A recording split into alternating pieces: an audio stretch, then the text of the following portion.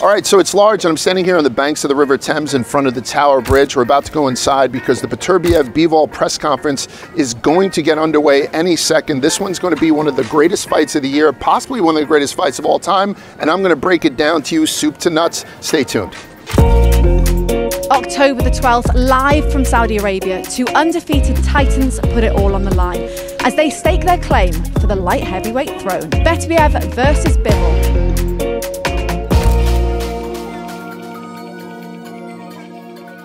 All right, so we know that every fighter has a powerful backstory, something that shapes them into the elite athletes that they are today. And even though Bivol and Beterbiev seem like they're worlds apart, each of their backstories are rooted in a powerful cultural legacy. Let's start with Beterbiev. Born in Dagestan, raised in the heart of Chechen culture, his people have a long history of resilience, shaped by conflict and a warrior spirit that defines their identity. All right, so growing up in Khasavyurt, a region that was scarred by the Chechen wars, Beterbiev was surrounded with violence since he was a little kid. So boxing was not just a sport, it became a mechanism for survival. And then his toughness, which is world renowned, doesn't just come from his training, but it comes from his heritage, which is rooted in courage, loyalty, and a refusal to back down. You know, when I was a little kid, I have uh, many fights in the street. Okay. And uh, my, my older older brothers decide to put this energy some sport, you know, and I have less fights in the street. So on the other hand, Dmitry Bivol's journey is shaped by his multicultural roots. He was born to a Moldovan father and a Korean mom, and that gave him a unique perspective on life and on fighting, and an adaptability that would later set him apart from the rest of the boxing world. So from Chechen resilience to multicultural strength, these two fighters are more than just athletes. They're living representations of their heritages. I want to say that I born in uh, Kyrgyzstan. Mm -hmm. And uh, that time when I born in Kyrgyzstan, the Kyrgyzstan was the part of USSR. And USSR was a multi-nationality country, multi-cultural uh, country.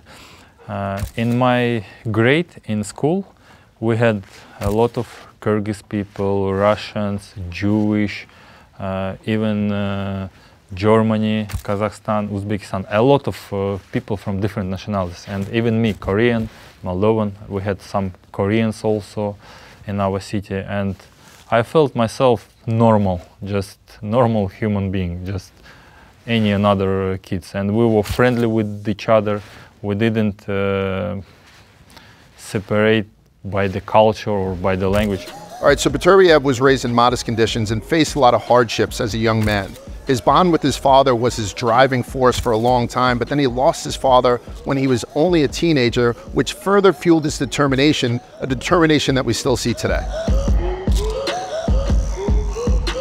But for Dmitry Bivol, it was a different struggle. At the age of 11, his family basically uprooted their lives and moved to Russia to further his boxing career. So now this young kid had the pressure of knowing his family's sacrifices were all riding on his success. I cannot tell that they sacrificed only uh, uh, because of me. Yeah? They sacrifice for all of my siblings because they knew that uh, we need good university in the future. If it's not sport, uh, good university or good job, and it's it will be abroad, not in uh, Kyrgyzstan, because that time the country wasn't uh, giving you good opportunities. You mm -hmm. cannot see the opportunities. Uh, yeah, you went where the opportunities yeah. were. We went to opportunities. My parents moved to opportunities for them, for their kids, most for, for us, to be honest. Uh, and of course, I felt a little bit uh, uh, in new place, like everybody who's moving somewhere, you cannot find yourself okay. But it took just half a year maybe because I was a kid.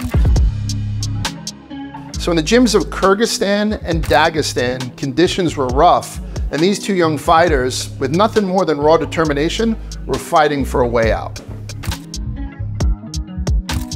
For Beterbiev, his Muslim faith is central to his life. His discipline in the ring is mirrored by his devotion outside of it. So it's his faith that keeps him grounded, and it's more than boxing for him. It's a way of life. You know, when you, I'm, I'm Muslim, yes, and I don't know no Muslim people, how, how they live, I don't know. Uh, first time when I my coach uh, from Canada, Marc Ramsay, says he like he like more Muslim people, Muslim boxers because they have discipline. Yes. They, they don't drink, they don't smoke, they do, they go to sleep early, wake up early because there is pray, you know. When he says that, I, I compare like, oh yeah, it's good. Yeah. but I'm not uh, thinking about like these things like, uh, I'm not put them together. And then for Bivol, it was that non-traditional multicultural heritage that shaped his identity. Unfortunately, that also made him feel like an outsider for the beginning part of his career, but he took that struggle, and he took that struggle to increase his discipline, and that's what turned him into the fighter that we see today. These personal beliefs and cultural backgrounds give both men a deep reservoir of mental fortitude, something that will be tested in the ring. So Beterbiev makes the move to Montreal, but even that didn't come without its own challenges. He was homesick, there was a huge language barrier, and even the cultural differences didn't agree with him. But luckily for us, he found a lot of support in Montreal's thriving boxing community. They like sport, they like to watch sport, they like to do sport. I'm really appreciate they choose me to.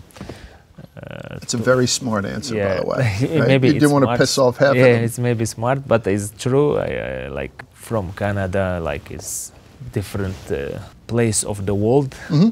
where I was born. I mean, you know, right. there people uh, like my, my what I do. I mean, my job. It's good too. Like. Bivol, meanwhile, was navigating his own challenges on the global stage. As his career took off, he had to adapt to expectations placed on him. So, balancing the weight of his past and the pressure of his future, Bivol was evolving into a world champion. When I was going in the ring against guys my age. I was feel myself more confident that he's he's a kid, like right. you know, yeah. because I was training with older guys. I was uh, competing sometimes with older guys. I don't know. I I just was enjoying the boxing. Right. Both guys have kind of dedicated their lives to the sport. You know, I'm sure without knowing too much, both upbringings were pretty tough. You know, mm-hmm. and and humble to say the least. But both guys have made the moves in their career to follow their dreams in boxing. But for all good fighters, the path to success is never smooth. Beterbiev has had his share of injuries. He had his rib, his shoulder, and most recently his knee. Plus, financial disputes with his former promoter probably delayed his rise to the top. These all tested his patience, but they never tested his resolve. It's injuries. It's, it's. I, I think it's part of uh, sport. Yeah. Injuries always comes with sport, any sport, you know. It, it's happened, uh, and I try to keep this fight, uh, like to do to do this fight. Even I have injury, but it's a little bit tough, like you know. And our team, everyone, doctor and everyone say like we need to postpone this fight. Right that I don't want to do postpone. Came through the pro, pros, had a little bit of an injury a couple times here, mm-hmm. got held off, but then all of a sudden Callum Smith happened, and I felt like he turned back the clock. Hurt! Callum Smith backed into the ropes now. Beterbiev pouring it on. Right hands, left hands.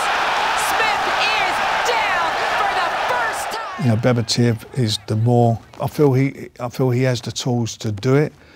Bivol's going to have to step up a bit more. So many fighters have had success early against Beterbiev, but no one's been able to keep him off for the duration. And it's going to take a master boxer like Dmitry Bivol to do it.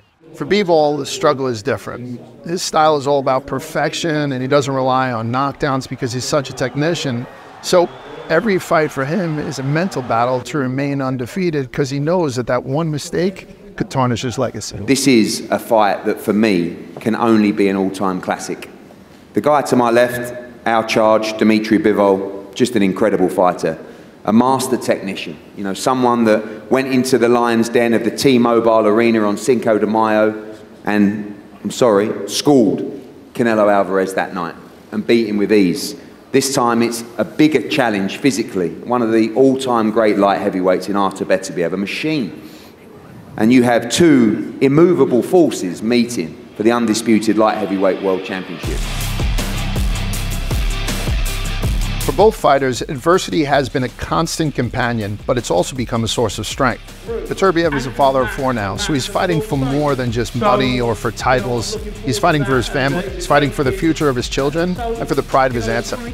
He hasn't shown anything but brilliance. Right. Right? So he's up very high, and I don't think we've seen the best of Artur now. And the thing I love about him is he's going to come in for the kill and go for the knockout. I think these guys are tough, focused, they had that mentality, that real stoic, I'm going to do it. That's Yeah. their mentality.